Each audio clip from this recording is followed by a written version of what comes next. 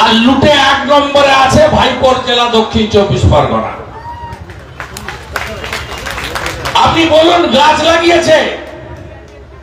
কোথাও গাছ লাগিয়েছে? জেসিপি মেশিন দিয়ে গর্ত খোঁড়ে। জবকার হোল্ডাররা কাজ পান না। এই জেলাতে আগের একটা ডিএম ছিল উলগানাথান।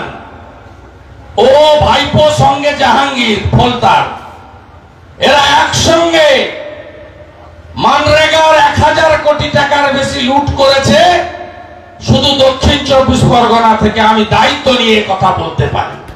আলিপুরদুয়ারে যেভাবে নৃত্য করেছে মুখ্যমন্ত্রী কি বলবেন এই বিষয়টা নিয়ে? আজকে আপনি সোশ্যাল মিডিয়াতে আমি বলেছি এই কারণ তো। একজন জনজাতি মূল্যবাসী মহিলাকে আজকে ভারতবর্ষের প্রধানমন্ত্রী রাষ্ট্রপতি করার সুযোগ দিয়েছেন। সেখানে আমাদের মুখ্যমন্ত্রী আপনারা দেখবেন ছবিটাতে ডান দিকে এবং বাম দিকে যে দুটো হাত ধরেছিলেন, দুই আদিবাসী মহিলা, তাদের হাতে গ্লাস ছিল। আজকে অস্পৃশ্যতার দিন শেষ হয়ে গেছে। আমরা সবাই ভারতীয়।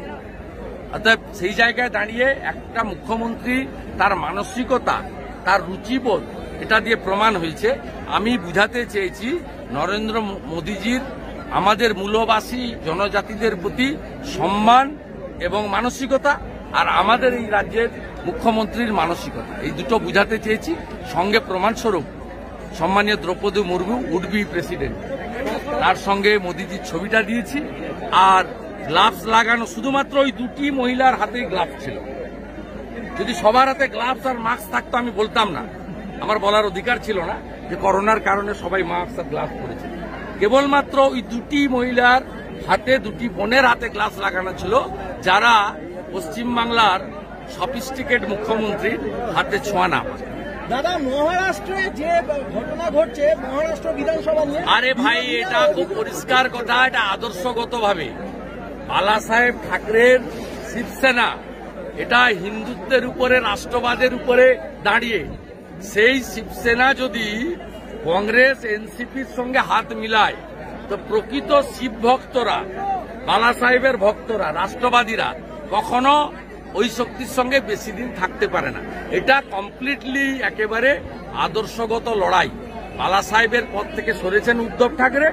তাই একনাথ সিন্ডের নেতৃত্বে একাধিক বিধায়ক ওকে রেড রেড ফ্লাগ দেখিয়ে আজকে বিধানসভায় বলেছেন, কালকে আপনারা বিল পাশের পরেও রাজ্যপালের কাছে গিয়েছেন, এটা নিয়ম বিরোধী এবং রীতিমতো অভিযোগ করেছেন আপনারা। ওর কথার কেউ উত্তর দেবে। ওকে সিবিআই কবে ডাকছে? কবার হয়েছে চারবার। গোটা পশ্চিমবাংলায় বলছে পার্থ চোর পরেশ চোর তৃণমূলের সব চোর। এই চোরদের সম্পর্কে দাদা শোভন বৈশাখী আজকে ওই সম্পর্কে মিডিয়ার আপনাদের কাজ নেই কম্ম নেই।